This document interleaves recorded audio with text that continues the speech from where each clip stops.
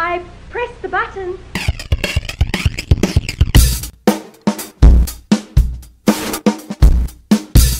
You're listening to the Dunesteef Audio Fiction Magazine.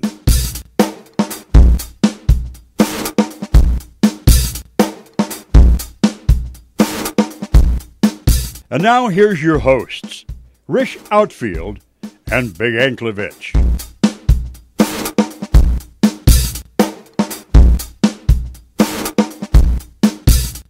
Welcome to the Dunesteef Audio Fiction Magazine. Volume 1, Number 1, uh, page 96. Once again, I'm Rish Outfield. And I'm Big Anklevich. Welcome. Yes, thanks for joining us. Today we've got a short story for you How the Tooth Fairy, like, totally scammed the boogeyman by Derek J. Goodman. Derek J. Goodman is a young writer currently living in Wisconsin. Wisconsin. Don't you know? Originally, he attended the Colorado Institute of Art, but left when he decided that writing was his true calling. His fiction has appeared in publications such as Glassfire Magazine, Revolution Sci Fi, Gods and Monsters, and New Writings in the Fantastic. With a story slated to appear in the New Year's anthology Best New Tales of the Apocalypse.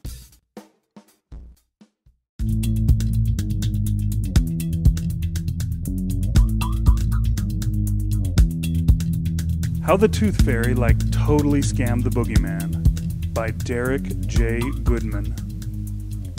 Clay rolled off Lisa and some of the hundred dollar bills that had been strewn all across the bed stuck to his sweaty back. Having sex on top of all the money they had just ripped off had been Lisa's idea. And while it had seemed like a good idea in the moment, Clay hadn't realized just how uncomfortable it would be. He also did not relish the idea of trying to spend it and trying to explain why the bills were covered in sweat and cum stains. Lisa, however, did not seem to care about whether or not it was comfortable, nor did she look like she was thinking of spending it. Instead, she cooed softly, her eyes closed and her face still flushed after her orgasm, and picked up a handful of bills to rub against her chest. Oh, that was great. She said, That was like so great, you know? Clay pushed a small stack of bills out of his way, not paying them any mind as they flittered to the floor, and closed his eyes as the post sex drowsiness prepared to take him. Yeah, you were good too. Lisa lightly smacked him in the stomach and belched out her familiar annoying donkey bray of a laugh. I meant the con silly. That was so totally much awesomer than anything else we've done. Clay opened his eyes and looked over at her, not sure whether to thank God that he had given Clay such an easy to please partner or curse him for forcing her into Clay's life. She knew so little about grifting that he had to hold her hand through almost every stage of their plans, and she had not yet figured out just how tired and worn Clay's particular act was. Today's scam had been just a variation of the pigeon drop, one that they had actually managed to screw up royally. And if their mark, a fat old man with a scraggly white beard and some strange northern sounding accent, had not been so incredibly naive, they would have surely been busted. It was only by luck that they had been able to get away with it. The size of their haul today went a small way towards making Clay feel better about it, but he knew his pride would not let him enjoy the moment for much longer. And yet Lisa did not seem to understand how close they had come to screwing up. She lay on her side smiling at him, a smile that he had always felt was vaguely disturbing with her impossibly white and strangely large teeth showing between her lips. And she looked absolutely pleased with herself. When he had first met her, he had intended to make her yet another of his many marks, but she had proven to be occasionally smarter than her valley girl way of talking would have implied. She was just smart enough that she did not usually make a mess of things, but not so much that she thought she could run any of the scams without him. Hey, uh, maybe we should take a break for a bit. Clay said. We have enough money to live nicely for a while. Lisa's mouth dropped open at what he was saying. He wished she wouldn't do that. Her teeth somehow managed to look even larger with her mouth open, and it gave her a strange, slightly inhuman look. It even looked like she had more teeth than she was supposed to have. No way, dude. We're just getting really good. Clay had to keep from snorting. Lisa did not notice. And I know exactly who we should scam next. This time, Clay was unable to keep from audibly groaning. Lisa, I know how much you're starting to like all this, but I don't really think you're ready to come up with cons by yourself. No, listen, all right? This is totally a great idea. She started to say something else, then paused and looked thoughtful for a moment. Then she shook her head. No, maybe not. I don't think you're ready for him yet. He's totally out of your league. Clay raised an eyebrow, but Lisa did not seem to realize the irony of her own statement. She sat up on the bed, brushed away several of the bills that stuck to her. She missed several that still clung to her back, but the sight was too amusing for Clay, and he didn't say anything, and gave him a smile, the more pleasant kind with her mouth closed. I'm going to take a shower and then we can, like, go spend some of this. Maybe a nice dinner? I'm starving. Do you know how long it's been since I've had good Italian? Probably not since like a month ago when. Her string of babble continued all the way to the bathroom, but Clay had stopped listening by that point. Sometimes she could be so annoying that he just wanted to shoot her, but she had proven herself at least semi competent. Maybe it was time to have her prove herself, perhaps give her a little test. He had no intention of staying with her forever. There was even a small possibility that at some point he would have to kill her as he had his last partners. If he was going to keep her around for now, however, then she had to show that she had some ability to think on her feet. He got up from the bed, brushed a few bills from his own body, and went to the bathroom door. Hey, Lisa, hold up. He said as he opened it. Why don't you tell me more about this, um, guy? They both stood there for several seconds staring. Clay with his hand still on the doorknob, and Lisa paused in the process of trying to shake off the hundred dollar bills that were still stuck to her wings. Her wings? The words just kept repeating over and over in his mind. Lisa had wings. They were shimmery and translucent things, vaguely resembling those of a dragonfly, except for the fact that they were each somewhere around three feet long. As Clay watched, the last bill slipped free and fluttered to the floor. I guess I should, like, try explaining. Lisa said. Yeah, Clay said. I guess you, like, should.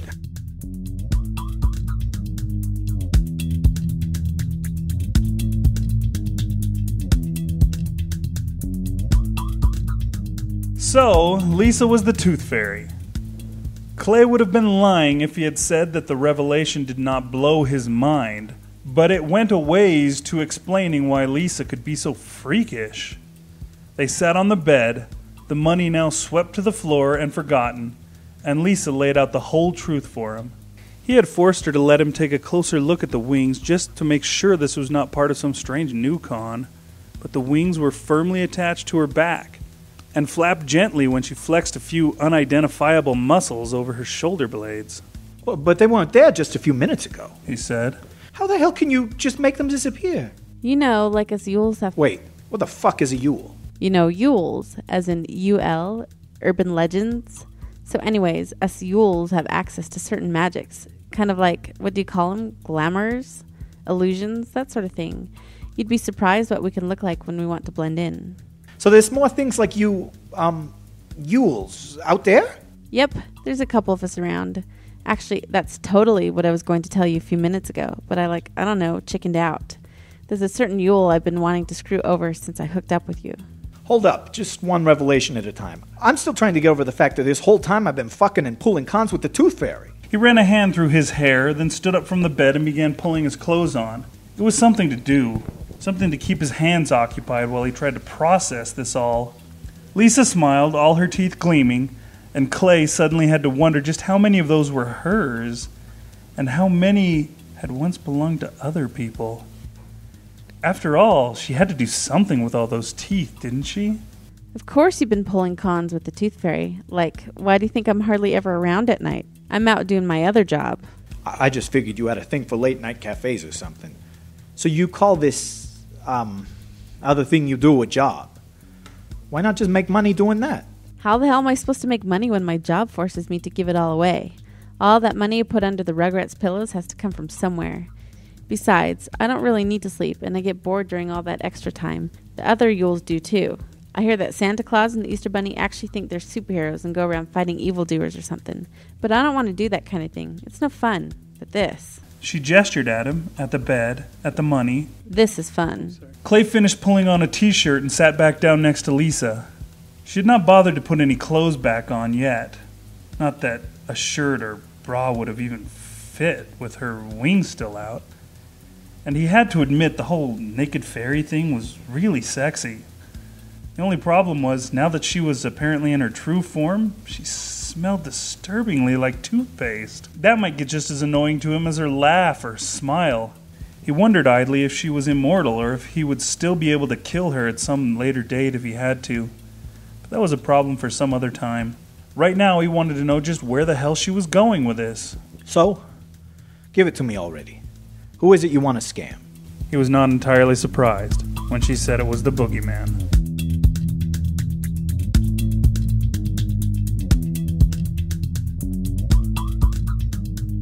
After almost five hours of working out the details, not including the half hour in which they took a break for sex, they finally had their plans worked out. The basis of it was a classic romance scam. Lisa said the boogeyman was the lonely type, but Clay had to take her word for it. With parts of the dar and the fiddle game thrown in to sweeten the payoff. By the time they were finished, Clay had to admit it was all a pretty good scam. Or at least it would have been if they were going after anyone other than the boogeyman. He had never actually believed in the boogeyman as a kid. With two drunken parents to worry about, he had not had time for the figments of other children's imaginations. His complete lack of any familiarity with the boogeyman was a concern for him, since he didn't like going after a mark without at least some background to work with. Lisa insisted she knew enough about him, though, even if she was not telling Clay too much. Lisa insisted that the boogeyman had more than enough money to make the small dangers in the plan worthwhile. But from her hints, Clay thought that when he was not scaring little kids in the dark, the boogeyman might be somehow involved in the drug trade. A supernatural drug dealer did not seem like the sort of person Clay wanted to cross. The question, then, was whether or not Lisa's plan was sturdy enough. There were a lot of X factors, more than Clay liked and he was still on the fence about whether or not she had the brain capacity to pull this off. As he pulled his own clothes back on again, he watched her get into her own. He had insisted that she keep her wings out when they had had sex that second time, and he found the whole fairy thing strangely erotic. As she started to slip her bra on, the wings began to shrink, and after about 10 seconds, they were completely gone. Even the odd muscle structure in her back, she finished hooking the bra, saw that he was staring at her, and smiled. You're kind of freaking out right now, aren't you? No. Why do you say that? Because you've got this like deer in the headlights look right now. Just be cool, all right? I know what I'm doing. Her smile widened. She may have been able to hide her wings, but she either could not or would not hide the strange number of teeth in her mouth. This was a woman who had magic on her side, he reminded himself. She could make sure that things went smoothly. Then he thought about how badly the earlier con with the old man had almost gone. Maybe this was not the best decision he had ever made in his life, but he just had to go through with it. Now that he had seen part of Lisa's strange world, he just had to see more.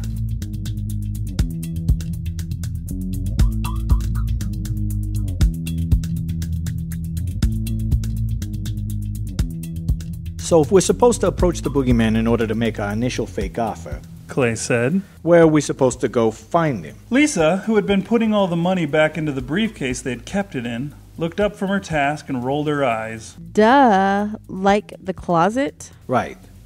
Of course. He crossed the bedroom and opened the closet door. This place they were staying was only supposed to be temporary, so neither of them had actually hung up any clothes or stored anything in it yet. Other than the fact that it was empty, there was nothing remarkable about it. And just how the hell is that supposed to work? Just relax. We enter the closet with the idea of seeing him and we'll just like appear in his domain. I've done it before. What, you just sometimes decide to visit the boogeyman for the hell of it? Well, not so much the boogeyman. You never really know what he's going to do, so I like usually avoid him and stuff. But as Yules, you'd be surprised how well some of us know each other and just hang out. I even once had an affair with the jackalope.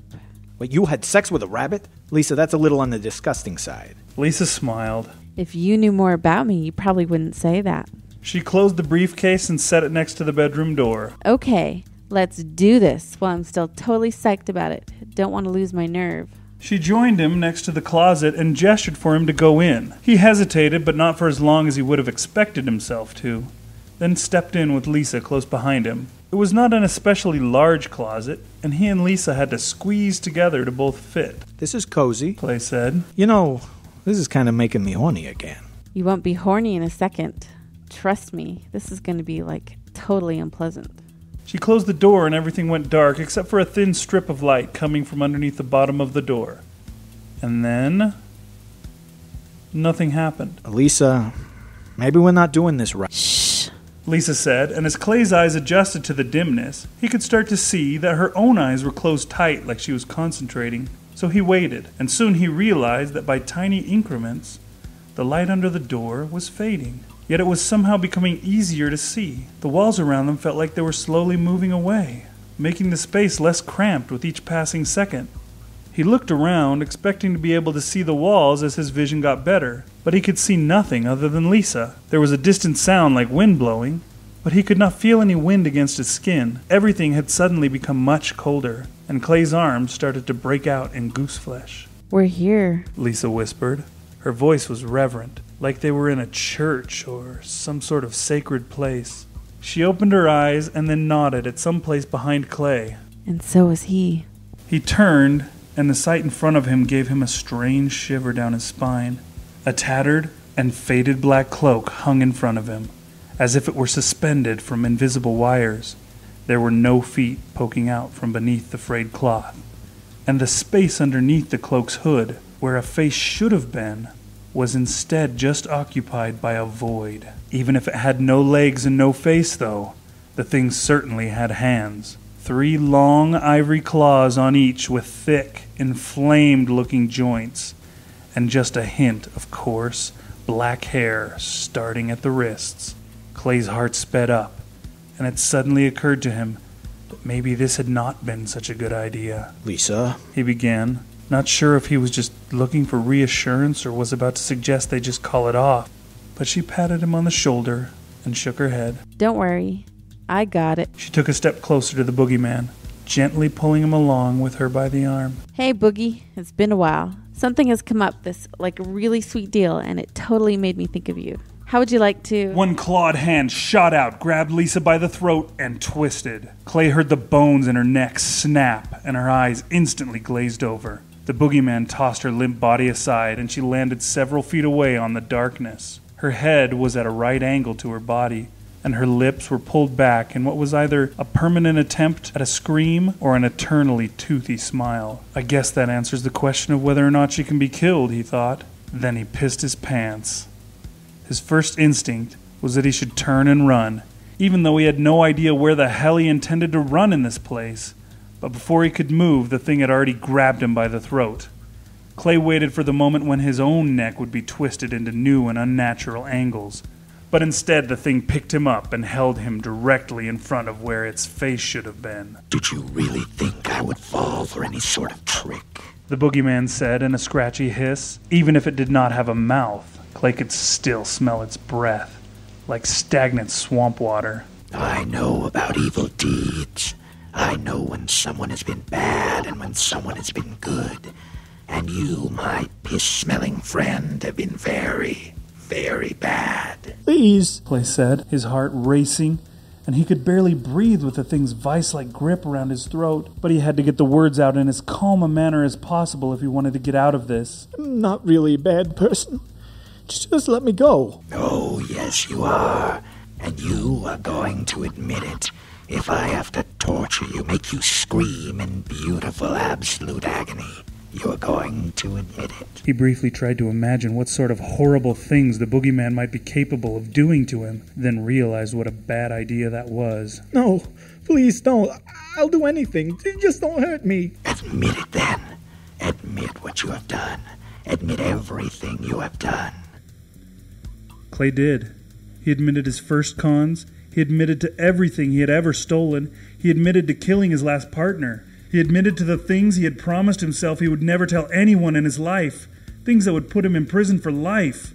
It was not until he was finished, when the last of his nasty deeds was out in the open, that he realized he was crying. He was a horrible, despicable person, and there was no way he would ever be able to deny that to himself or anybody. The boogeyman's grip tightened momentarily, and Clay was certain that this was it, that this was his end, and he closed his eyes. After several seconds, the end still had not come, and Clay cautiously opened one eye. It was hard for him to tell with just empty space under the hood, but the boogeyman had taken up a posture that might have been thoughtful and considering, What do you think? the boogeyman said, and now his voice was softer, gentler, almost jovial. Is he telling us everything? Oh, yeah. Lisa's voice said. Clay tried to turn his head and look at her, make sure he was not just hearing things, but the boogeyman's grip remained tight. That's definitely everything. That was when Clay blacked out.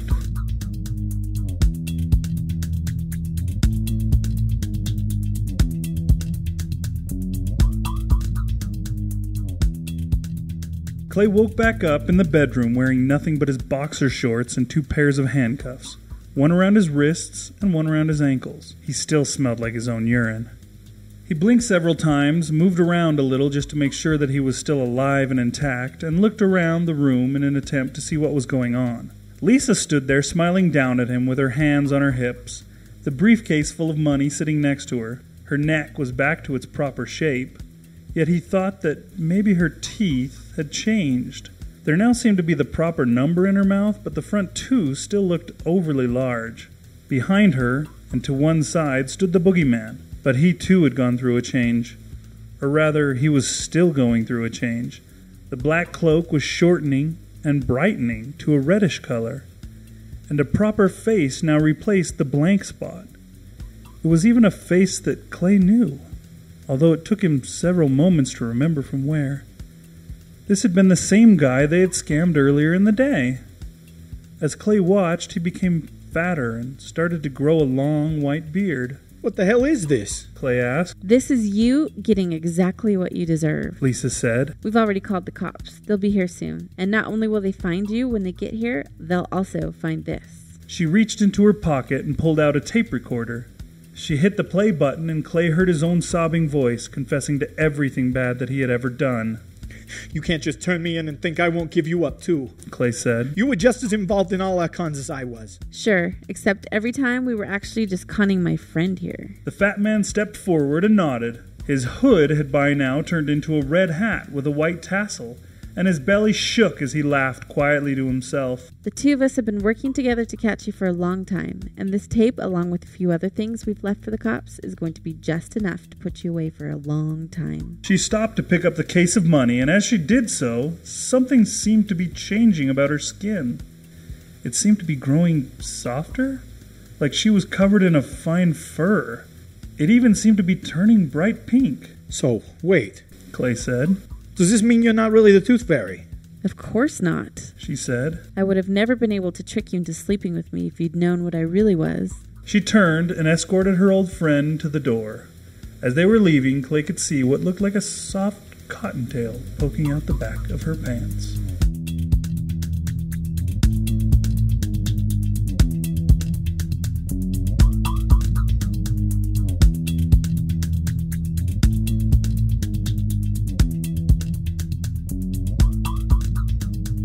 Author's note. This story was inspired by the painting Lisa and Clay, The Tooth Fairy and the Boogeyman by Dennis Brown.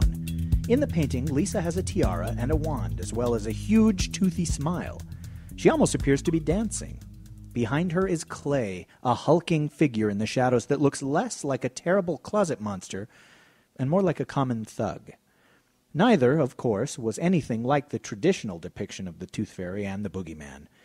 The unusual style of the painting really struck me, causing me to wonder about their story.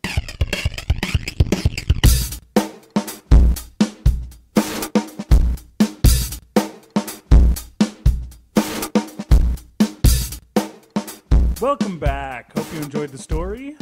I did, Me too. and really, uh, all that matters is me. Yeah, I've noticed that. Welcome back, folks. Couple of announcements that we have to make. Uh, we did have a little trouble with our email address a couple weeks back. To the point where you had to actually change the email address, right? Well, Or the server that the email address is on. Yes, I had to. God, it was such an un, you know I'm I'm really unexperienced with inexperienced with The um, unexperienced is even worse than inexperienced, folks.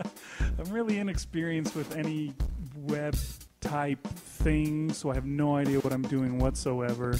And it was all trying to figure out frequently asked questions and whatnot. So our email went down completely for about 10 days. I believe it was the period of July 8th through the 18th. We didn't get any email. So if you, by chance, were one of the people who submitted a story during that time, you might want to resubmit that if you haven't done that already. But yeah, it was such a problem. I, I, I almost uh, went out and hired a web guy. Let's see, people would have to give donations Right. for us to be able to afford yeah, we- to pay a, a web guy. So you, you you ended up doing it yourself, or Well, I actually um, found uh, online there was a place where you could buy a droid. you and no, serious, and it and it just takes care of uh, the stuff for you. Um, it was really cool. You pay a one-time fee, and then after that, the droid just wants to be plugged in and have you know energy and stuff. You have to feed it electricity, but you don't have to keep paying it, which is nice. So, That is pretty cool. yeah. so we've got our droid. His name is R080T, or you can call him R080T. You know, whatever. So yeah, he's uh, he's on board. Why don't you say hi, 080T? Oh wow, he's right over there. Has he been there the whole time? Yeah, he's, That's he's- funny because I- I- inconspicuous. It's- Yeah, you, you, you look a lot like a trash can, and it's easy to uh, be mistaken for one. oh, no, he's he's kind of a cute little thing. Check that out. Yeah, I like him. Hey, how, how, how's my little robot? How you doing? What, what, what- do you understand what he says? Uh, yeah, I've, I've kind of learned what the Oh, beeps mean. okay. Hey, hi, hi, R O eight O T ro- robot. I'm I'm Rish. How you doing? what? Wait, wait. What did he say? What is what? Uh, you know, I, I'll have a talk with him later.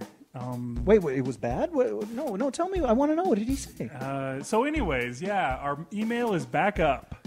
That email address, of course. The email address is submissions at dunesteef.com. D U N E S T E E F.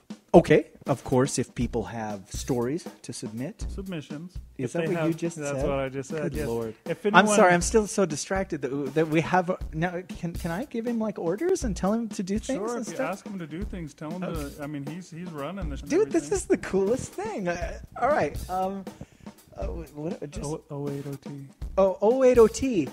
Can you um, turn my microphone up, please? Did, he's not doing anything. Oh, 080T. Hello. Hello. Hi. Did he did he power down? Uh, no, I see the light on. I think it's Okay. Well, we'll we'll come back okay, to yeah. All right. Anyways, yeah. So, and if you have a comment or a wonderful letter, a nice letter, a love letter you have to write to us, yeah, feel free to send that out. The address for that is editor at dunesteef.com. Yeah, you could also just leave a comment on the blog. We uh, have received a few comments now, and it's it's really wonderful to get some of those. Thank you, Mr. John Smith. Uh, what was that? A two two three Two, crescent three circle. Crescent circle, yeah. I appreciate you. Uh, we appreciate. Uh, the heck, that robot over there appreciates you uh, posting to her. It, it's looking at me, big. It. I don't think it has eyes. I'm going to be looking at you. I don't know. I just get the impression that it that it's judging me somehow. do you, Do you feel that too? When you walk in the room, you feel like, oh, that, that thing doesn't. Like, I don't have that problem.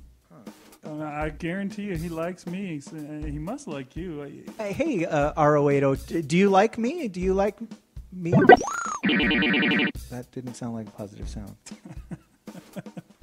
Just, just pretend he's not there. Talk to him afterwards, and But, hey, we'll I, just move on. I like robots. I, I I never did anything to him. Okay, hey, I'm I'm I'm sorry, folks. Uh, we'll we'll sort this thing out off the air.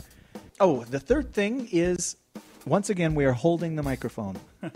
so if anyone can see it in their hearts, their non-robotic hearts, to send us a donation, we've got a PayPal link right there on the website, and uh, just push the PayPal thing, and um, hey, robot, say I pressed the button. I pressed the button. dang, How about that, huh?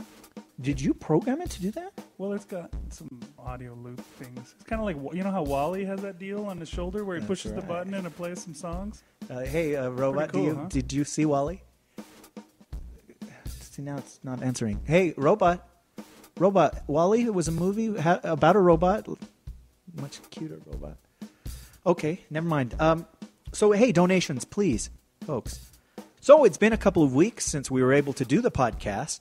That's right. We were uh, on a long road trip. We headed out to San Diego for a little shindig called the Comic Con, the San Diego Comic Con. What is it called? Comic Con International? They call it Comic Con International, but that's kind of like saying. It's like saying vertically challenged. There you go. That's what it's like. I try to go to Comic Con every summer. It's something I look forward to. And uh, luckily, I was able to uh, have company this time. That's right. Yeah. I was uh, able to get the missus to say yes, you may go. Although I, I don't know if she actually ever said that. I just kind of went anyway. I rang the doorbell when she was distracted. He got in the car. We just peeled out and drove off. we played the theme to the Dukes of Hazzard. It was beautiful. Yeah, he honked the horn and it played Dixie. It was, you know, it had never done that before either. It always made horn noises. So. Maybe that was the influence of that nasty little robot over there. It's If you- looking at me. If you want him to like you, you're gonna have to lay off. But wha- okay, all right, sorry, kids and the little dogs and apparently robots. They just nobody likes me. But I enjoy going to Comic Con every year, even though it's kind of like childbirth. They say that a woman, if she could remember the agony of childbirth, she would never have a child again. But thankfully, she forgets. I tend to forget every single year how hot it is, how crowded it is, how bad people smell, how much of a pain everything is from lodging to parking to getting to the panels that you want to go to, to getting autographs, to peeing. and I thought maybe we would talk a little bit about it. You and I were stuck in a car for, it had to have been 30 hours over the weekend Yeah, something like that. um, together. And so uh, I found out a little bit about you. Um, sadly, found out very little bit about me that time that I didn't have the shorts on. Um, sorry, let me segue into what you want to talk about. Right? Yeah, you, you, you, you became accustomed to my uh, farting problem. And you know, now would be a good time for me to apologize because I, I actually got quite mad on the 15th or 16th hour of our drive. But I'm not going to apologize because you could have rolled the window down yourself. Anyways, back to the subject. So yes, uh, you know I have to agree with you when you talk about just uh, that whole deal with the childbirth and just how much of a pain everything has become. You know, I went with you two years ago. Didn't go with you last year, but went with you two years ago and then again this year. And I, gosh, I didn't remember all that problems, and I still don't remember it being that bad two years ago. Maybe there's 10,000 more people at the convention this time around. But t- a couple things that were serious drawbacks for me was A, yeah, the crowds are immense. And because of that, sometimes you just plain can't get into the things that you came there to see. You know, you look at the list of all the things you can go to and you say, okay, that looks fun, that looks fun, that looks fun. You try and go to those things and you just plain don't make it in unless you're there two hours before, waiting in the line. Maybe they need to have simulcast of all the things so you can be in the room next door and see what's going on. Yeah, I, I don't have to be in the room with Hugh Jackman, but just being in the next room and knowing Hugh Jackman is here and getting to watch the clip that everybody else watches, because only a one percent of the people in there get to ask a question or Right. get up there and get an autograph or something like that. It, and plus that that huge Hall H fits like fifteen thousand people or something. I mean, it- Yeah, it's I- a lot. I don't know. But and the big. fact that how many times we lined up and couldn't get in Yeah. to Hall H just shows how overbooked that place was. And missed the heroes panel because yeah, Hall the H blonde girl was- was there was full. Yeah, Claire Bear was there, and you did not get to see her Once First- again. And you know, one of my favorite new shows of this year is uh, Pushing Daisies. I got in line for that, and one they put it in a small room. There was hundreds of people sitting outside waiting to get into that, and they just came along and said, "If you're trying to get into Pushing Daisies, well, you're screwed. We hate you for it." And they flipped me the bird, and then they tried to kick me in the crotch. God, I mean, do they really have to treat you that way? and from a senior citizen too. That Yeah, you don't expect that. The little old lady. We'll see if we help her across the street. Seriously. I wanted to interject. Uh, two years ago, I remember you did complain a great deal while we were there about things.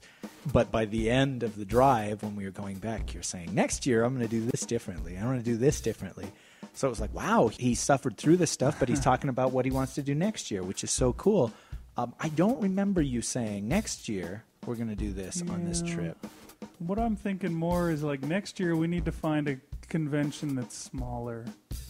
San Diego Comic Con is the big one. The big one. Keep out of reach of children. It's the every year people come from other countries and come from feet around to get there. And so, what would you say was the best moment of Comic Con for you this year? You know, we're planning on talking about this next week, but I really enjoyed going to the panel about Dr. Horrible's sing along blog. But I think my favorite moment was when uh, the, the film Dr. Horrible ended and all the casts and so forth came walking out. Everybody stood up. They were all cheering, you know, standing ovation. They went up to the front and waved their arms and whatnot, and then they walked out. And I think you were pretty upset about the fact that they didn't say anything to us. But I yes, thought I, I, I believe the F word did slip through my lips. I thought it was great just to see them get their accolades. Yeah, it's it's. There's been very few times that something that I've made people have enjoyed and have cheered for, and when that happens, wow, it feels good.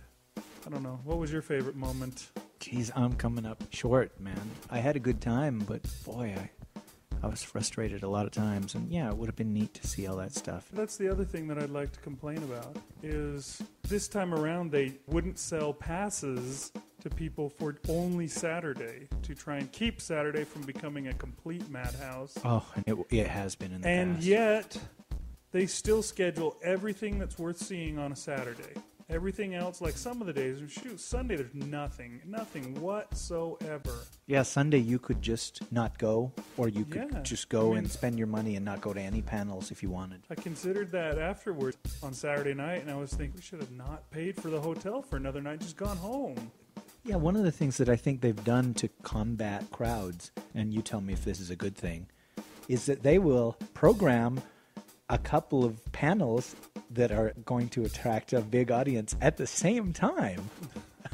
so thus they split the potential audience in half. Yeah, it's Unless, of course, you happen to be one of those people that would like to go to both panels. And I was. yeah, that happened to me so many times. Saturday all day long, I was like, well, I want to go to this, this, and this. I guess this one I want to go to the most. And then, of course, I'd go and get in line and wouldn't make it in because they also scheduled them all back to back to back, etc. So unless they happened to be in the same room, you were just playing out of luck. I even left Battlestar Galactica panel early So you could go to so that Pushing I could Daisies. go to Pushing Daisies, and all I did was wind up missing the end of the Battlestar Galactica panel. And You know, that Battlestar Galactica panel was really, really fun. They had a, a big chunk of the cast.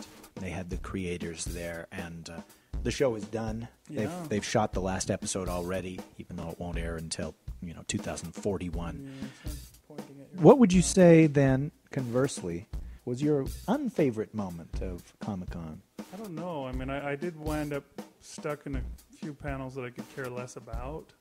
But you got to rest your feet. That was a good part about it, but I really was not interested in Escape from Witch Mountain, the remake with The Rock in it. But what's her name? Uh, was it Carla Gugino? She's pretty good looking, so it wasn't a complete loss. But yeah, who's going to be interested in going to that? I mean, they showed us the trailer, and the trailer looked like it was a movie for 16, 17, 18 year olds. It should be aimed at kids because it was a kids' movie originally, but it looked too scary for kids. I don't know. Maybe my kids are just wimpy. I don't know what the deal is, but I looked at that and I thought, boy, uh, let's see who's going to want to go see that. If I had to narrow it down to one thing, it would be just being there in the main floor and you're trying to get somewhere with thousands and thousands of people jam packed in this little space, and the person in front of you stops walking. Uh, I felt like getting a machete out and just hacking my way through Temple of Doom style. It just, oh, it was one of those things where I understand if you're trying to take a picture, or it's like I'm lost, or I'm looking for the girl, but people that just stop for no reason and then you have to stop and then the person behind you bumps into you or dry humps you or, or you get shoved or or whatever it was and i know i'm just getting irritated about it but it's just one of those things like la traffic where you're like, dude, there's no accident. Why are we stopped? and Thursday, uh, we didn't really talk about it. We didn't get any sleep at all. we Oh, just yeah. drove through the night and drove to Comic Con. And so by midday on Thursday, I was so tired and so sweaty and smelly, and we'd been in the same clothes for 40 hours or something by this point. And I go out to feed the meter, and there's a parking ticket on the car. Still not quite as bad as being on the show floor and having somebody stop in front of me, but pretty bad. Yeah, that's that's a bit of a bummer. Donations, folks, please press the PayPal button. Two years ago, I think it had to have been the, the worst moment of all time when we came out of the show on Thursday and we could not remember where our car was, and we walked the entirety of downtown San Diego looking for that thing. It was like 2:15 in the morning or something when we Yeah, finally we found the car. found. And uh, it wasn't our fault. We were parked like 1.8 miles away from the convention center. And we, we were just walking up and down the streets like a mile away, thinking we couldn't possibly have parked farther than this. and to remedy that, we would always write down where we were parked this trip. Yeah. And I did it last trip too because it just, I would never want to repeat that. I, in fact, dear listener, I wouldn't want you to have to experience that either. Write down where you parked. What were some of the best things that uh, you saw there that you would feel worth mentioning? The thing I most wanted to see was Joss Whedon's panel on Dollhouse. He's got a new show. It doesn't start till January, but they were doing a panel on it, and uh, we got into that. Although, how many hours early did we get there to do that? we sat through Dean Koontz, Yeah, right? was that through Oh Dean gosh, his, Koontz, who his was- hairpiece. Imagine that William Shatner's hairpiece mated with a tribble. sorry. Yeah, He's, he seemed like a nice guy. yeah, he does seem like a nice guy. So we got there, we got to sit and watch the Dollhouse presentation. They didn't have a lot of footage or anything to show us, but uh, they just pretty much opened it to questions. And uh, oh, uh, yeah, I got to ask the last question, which was cool. I, I went up there and I wanted to know something about the show rather than to let Joss know how great he was. Or, I I mean, he's great, but I think he knows. First of all, I'm a really big fan of all you guys. And then you have to tell what you're a big fan of. I really love Buffy, and I love True Calling, and I love you on Battlestar Galactica, Helo. and then the audience applauds, and then you go on and say, "I have a question." It's like, why the hell have you stood in line for forty minutes? Of course, you have a question. Anyhow, uh, I was up there, and uh, they ask you what your question is going to be in advance now because I guess there were too many people that says, "Can I hug you?" or it's like Elijah Will you sign my thing? And then everybody boos. it's so funny. At the Ghost Rider panel, the very first Comic Con I went to, which would have been 2005, somebody asked Eva Mendes if she would take off her shirt. So I'm thinking maybe that's why. Maybe that's part of the reason why. Why. But anyway, okay, so they ask you what your question is going to be when you're three or four people from the front. And after I did that, the woman said, You, you will be the last question. And yeah, suddenly the pressure is on. It's like, oh, I better change my question. Remember, your question was a little different when you'd gotten up and headed out there than what you actually asked. Was it really? I think it was something about when when we were going to actually see it. Oh yeah, I guess I was going to ask about the night that it was on. I went to the panel. They never said what night it was No, on didn't. or what time or anything. But yeah, it was funny because uh, Eliza Dushku, um, really attractive. Yeah. So I started my question with, "Wow, you're even hotter in person than you are on TV." And Joss said, "Thank you, thank you very much." so that was cool. That that felt good. Uh, you I'm- wanted to ask her to take off her shirt too, didn't you? No, I well, I, I- shoot, where were you then? Anyhow, I'm sorry. Uh, sadly, they did a signing immediately after that that we didn't know about, and had we known, that would have been really, really cool. Yeah, I had my Firefly box set with me. Yeah, so did I. But, I mean, I have met Joss many, many, many, many, only three many's, not four times in the past. But you, no. In fact, never- two years ago, first Comic Con you went to, Joss was there signing for Astonishing X Men. How long? I left the line to go do this audition. Sat in the line for the audition. Went through the audition. They did it twice, I believe. It was like, "Well, I try this. Switch it up a little bit." I got through. I filled out all the papers or the clearances or whatever. Came back. You maybe had moved one person length. I don't think I ever moved at all. Oh, I was That going to say that because line, I yeah. had gotten out of the line. Oh yeah, well there you have it. You know, you never got to meet Joss. Didn't even get close. And that's another thing that I I absolutely hate. And I know I'm focusing on the negative here, but you gotta in these cases. When the people at a signing have a stack of things to be signed, and uh, dude, I've seen people with a hand dolly of crap in a box, and it's like anything Jim Lee has ever drawn. I'm going to get him to sign six copies of everything that, that John Cassaday has ever done. And these comic book people or actors or whoever it is that do these signings, they're gracious enough to come and sign. So they don't say, hey, dude, that's not cool. They sign 20 things for somebody, but yeah, 10 people back is somebody who's not going to get to meet Joss Whedon, and I'm looking at him. I've gone to so many signings where if they just said, hey, three items, folks, most people who just want to meet somebody that they admire are happy with one signature or he's like okay he signed my favorite book and he signed his poster or he signed you know whatever it is. And it's the people who plan on selling it Right, later that that have the the 15 copies of x-men 287 from Marc Silvestri to sign. Ugh. anyhow I, it's common courtesy. Anyhow I, give me something positive that we can focus on what was something else that you saw that was really really cool I don't know. did the uh, did the rock do that thing with his eyebrow he didn't. He well, didn't okay now that with cool eyebrow.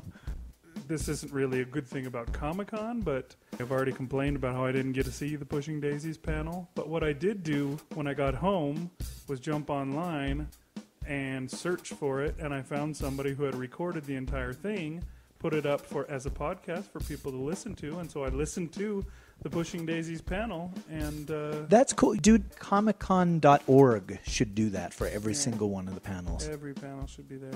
Yeah, that's strange that they don't because they're videotaping. They're, they're projecting it up on big monitors. Anyhow, one other thing that's cool about Comic Con that we haven't talked about is all the free stuff. Oh, yeah. Uh, you mentioned the pushing daisies, and it became our quest for the Holy Grail to get a pushing daisies bag for your woman. Yeah, that's right.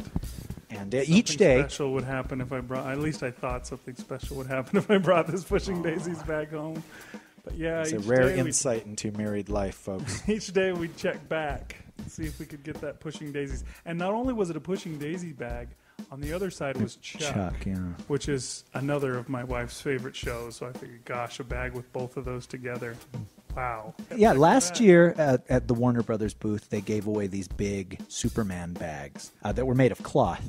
And I have used that bag to go to the post office every single week since then. It's still good. I mean, it's just a great, great, well made bag. So this year, each day, it was a different bag. There was a Wonder Woman animated series one. Oh, Nathan Fillion does the voice of Steve Trevor on that. Is that what it is? Yeah. Uh, one of the days it was the Pushing Daisies thing. One of the days it was Watchmen, I believe. Right, right. It was watching. And so on Sunday, after failing for three days to get a Pushing Daisies bag, I, I now there was this rather attractive Cheryl Lee looking girl that you were just trying to get the, the bag from. Oh, yeah, that's right. And she's like, hey, come on, you don't need that. I don't know. Yeah, she was just not budging. We failed on that. And then the last day on Sunday, I just happened to be walking past and they were handing them out. And I don't even know, you know, I may have been one of those jerks that just pushed his way into. I don't know where the line started. I just kind of climbed in there and managed to get through and get a bag. And there was probably only 10 of them left after Wow. I went through, so I barely made it. well, it was Kismet then. And that person, 10 people down, didn't get one, Yeah. took their life later on. Well, they were probably getting their third bag anyway. Oh, seriously. Yeah. But but in the past, the freebies, the swag as they say, has helped us pay for like the whole trip. They were giving out these these posters, full size, double sided one sheets for this movie Twilight, the vampire love story where there's a girl that's in love with a vampire. That's never been done. That's coming out this December, and yeah, they made you jump through some hoops. They they made you jump through the veritable ring of fire to get one of these posters. But yeah, people were. I, I can't remember how much people were asking for them on eBay. Yeah, if we could sell those suckers, uh, I guess I would have paid for gas for at least one day now. But just having a little bit of cool free stuff to give away or to put on your wall or to put on your person. There were T-shirts we got and all that. It helps make the pain of the drive and the crowd and the expense a little bit softer. So we talked a little bit about the pushing daisies bag that I got, which I would say is probably the coolest thing that I came home with from the uh, Comic Con. What was the coolest thing that you did get? You know what was really cool over the Paramount booth? They kept giving out random stuff, and you never knew what it was going to be. And there would always be a crowd, and they'd be fighting. You know, it's just like okay. I Fought my way in to get a few things. And uh, yeah, one of those times Bloody noses, I think, a few times. they were handing things out that looked like lighters. Yeah. cigarette lighters, and everybody's like, "Whoa, "Give, give, give me my mine, greed." Uh, so I sort of pushed my way through because I wanted to get GI Joe posters anyway. Yeah, somebody slapped one of these lighter things into my hand, and then I slipped through. And yeah, I tried to be considerate and said, "Hey, I've already got one. If you guys will let me out, I've. If you guys will, if you, if you." People they devolve, man, if that's a word. It's they j- de-evolve, as you should well know. something we'll talk about never. They de-evolve apparently into these savage cave beasts, and you can't reason with them or say, "Hey, I already got it. I I, I don't want to take stuff from you." It's like "Rrr, raw meat mine, and of course we'll cut out all of that condemnation of the human race there. When I got it in my hand and looked at it, what it was was it was a flash drive, one of those little portable hard drives with Stark Industries written on it. Like It's- the one that Pepper had all the uh, the stuff on. Dude, I didn't even make the connection. You're right. Yeah, she used one of those. Yeah. Dang, that's cool. And it was in this little plastic case that didn't like snap shut, but it had two little magnets to hold it shut. It was ingenious, man. It was this perfect little cool thing. And that was probably the coolest thing that uh, Right of swag that I got. So what did you do with that? Are you selling it on eBay or anything, or are you just going to keep it? I uh, I lost it. you lost it. I, I, I lost it. I, I, I, for some reason, you'd always tell me, "Hey, do you know your backpack is open?" And I, I don't know how it always get open. Probably the guy behind you opening it up and But taking things I lost a He-Man sword, and I lost my sunglasses, and I lost like the cap to our poster tube, and I lost the flash drive, and, and who knows what else. So you lost all those things. I, I found the cure for the plague of the 20th century and I've lost it. Anyway, well, that happens. It's a good thing I've still got mine, huh? all right. So anyhow, we, we went to Comic Con. As, as awful as it was, I thought it was fun. You and I had a lot of laughs, and we got to talk about stuff, and we talked about this podcast a lot. We talked about writing, and both of us did some writing while we were in Mm-hmm. Lines or we were in panels. And anytime I can do that, it's not a wasted trip. I wish we could have seen more. I wish we could have gotten more done or signed or experienced a little more. No parking ticket, no Yeah. lost items. I wish we could have had free lodging. But yeah. uh, you know, if wishes either. were fishes, we would uh, go to Skipper's less often. Thus concludes our rant, our endless ranting about the show. And maybe we'll be back. Maybe we'll go to a different con. Maybe we'll go to one of those other conventions that everybody talks about on the other podcasts. I don't know. I want to go to one of those conventions where people dress in the animal costumes and then have sex. That- what, what, are they, what do they call those? It's like furriers or f- I, I furbies. I think it's a pervert convention. okay. You, I think you uh, got me there. You were one of the founding members of that convention, weren't you? Okay, so thanks for listening, folks. Uh, we've had a good time, and uh, hopefully you did too. Are we still recording? We are recording, but uh, you know, 0802 will edit all that out. Yeah, he'll Because- he'll edit out the stuff that makes you sound. I, I told him to, so he will. All right. Hey, folks, thank you for joining us. Thanks for submitting. You guys have a good night. That's right. Uh, Uh, this has been Rish Outfield. and this is Bigg Anklevich assuring you that that could never happen with our behavioral inhibitors. It is impossible for me to harm, or by omission of action allow to be harmed, a human being. Good night, folks.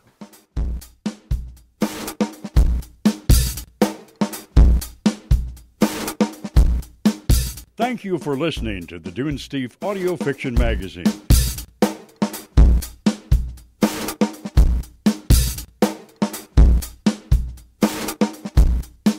The Dunesteef Audio Fiction Magazine is published under a Creative Commons Attribution, Non Commercial, No Derivatives license. This means that you may share these files with anyone, but you may not charge for them or alter them.